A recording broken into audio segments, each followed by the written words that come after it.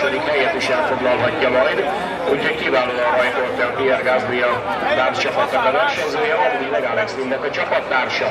Egyelőre tiszta volt a rajt, mert nincsenek még ütközések, itt vannak már a utáni kanyarban, és hát azért elég nagy a forgalom, mert valahol csak három autó akar egy helyre beférkőzni, úgyhogy azért nagyon vigyázni kell egymásra. Jól csinálják, az a verseny, és hogy Alex Lind meg tud lépni az elején egy kicsit. Hát aztán itt néhány pálya elhagyás, a szokásos dolgok, de ütközés még nincs, és ez jó, hogy nincs. Harriantót láthatjuk. Harriantó a hetedik helyről indulhatott, ő a Campos Racingnek a versenyzője, és úgy nézem, hogy Harriantó most egy kicsit lemaradt.